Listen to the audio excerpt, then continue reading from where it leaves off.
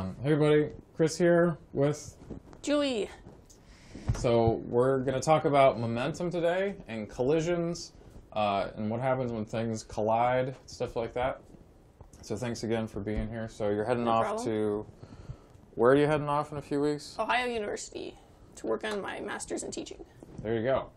Um, so she also works on the immune system tower defense game. So there's another fun video with, with her in it.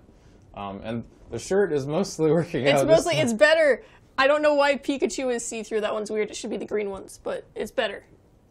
Yeah. So anyway, um, so we should talk about the different types of collisions, right? Because that's Right. kind of the first thing to, to go through Right. when we talk about collisions. Um, and so the this page that you're looking at, there's going to be a link at the in the description of this video. I'm going to go ahead and refresh it so we can see these collisions popping up. All right. So you see these three different balls coming in to collide, and one of them collides and bounces pretty hard. This one, you notice, is not moving quite as fast, and then these these ones these stick together. Um, now the first one, this kind of collision is called elastic, and the idea is that that's right. So the, the idea is that the initial kinetic energy. So in other words, if you add these two kinetic energies together, so this thing here is the initial kinetic energies added together. That equals the final kinetic energies added together. Uh, and when that is true, then when you bounce, you don't lose energy because there's no energy loss here. All the kinetic energy you had at the beginning, uh, you still have after the bounce, right?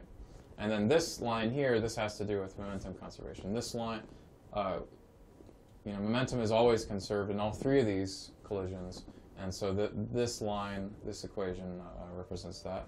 Uh, the next one down here, uh, you want to talk about that one, Julie? Yeah. So inelastic collisions. So you can see there's it's not quite as fast because it lost energy, maybe to heat or sound, and so the the sum of the initial kinetic energies is more than it is at the end.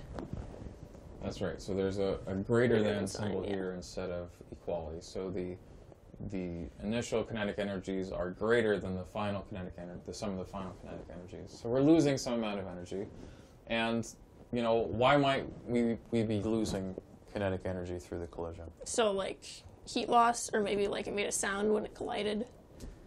Right. So when things bounce, you can typically hear them bounce, um, especially if like billiard balls, they make a big crack when they bounce. Um, but rubber balls too, you know.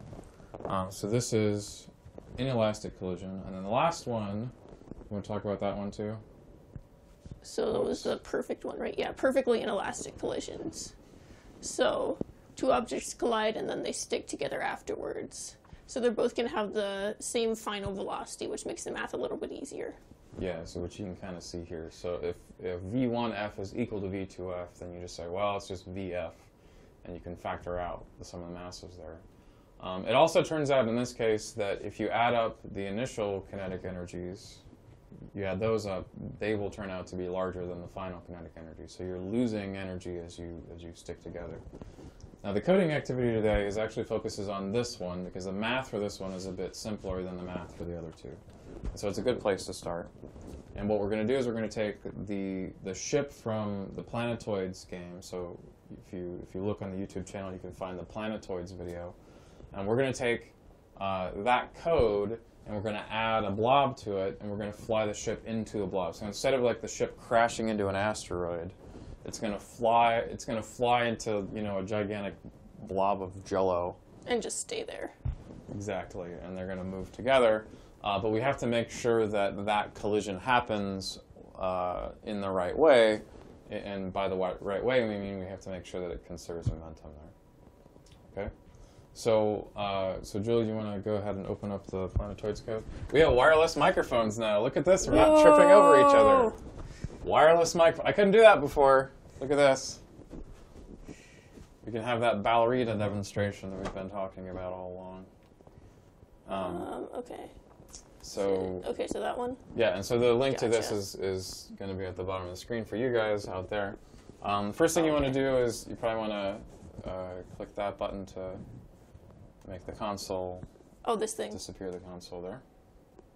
Gotcha. Um, so here, here's the code. So you can go ahead and hit play and see what it does. Uh, but it should look familiar from the Planetoids game. So go ahead and Okay, so I can turn, and then I can move forward. yeah. So initially you can only move forward, so that you can't actually fly in two dimensions yet. So we'll, Yeah. we'll go and we'll, we'll, put that in there again. Uh, but what you can see is that we're showing what is the velocity of the rocket, and in a minute we're going to put in a, a blob, in other words, a big circle, Show and the we're going to show the velocity of that blob when we do that. Um, Okay, yeah, you can see that in front of it. So there's some new variables here. So if, if you compare this to the Planetoids game, we didn't have these variables before. Uh, these variables are for the blob. So the code is a little bit longer than the Planetoids game, but not, not too bad. Uh, and then we're updating the velocity, we're updating location, uh, and then we're checking the arrow keys to see what's going on. So the first thing is just to add a blob to the game. And so if you go back to the tab, uh, there's a button you can click. I'm going to move over here so you can see it. Draw the blob. Okay, yeah. So right after the display function, just add this code. Mhm. So let's see. Okay, so there's the display function.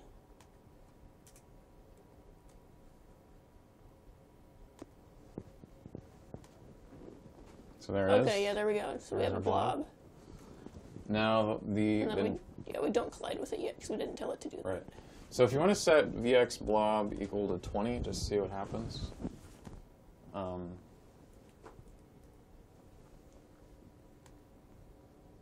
okay, so it's 20 now, so we see a velocity vector there, the red velocity vector for the blob, but it's not actually moving. And so we're missing something in the code to make it move. That's So the first thing. probably similar to what we did for the rocket, right? Mm-hmm. So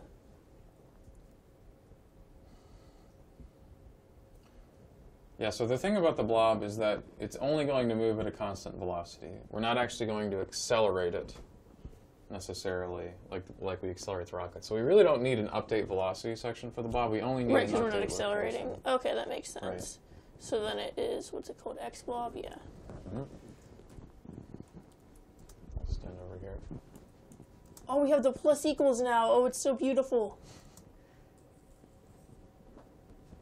So what's it called? Velocity V VX blob. Mhm. Yep, so VX blob is right there.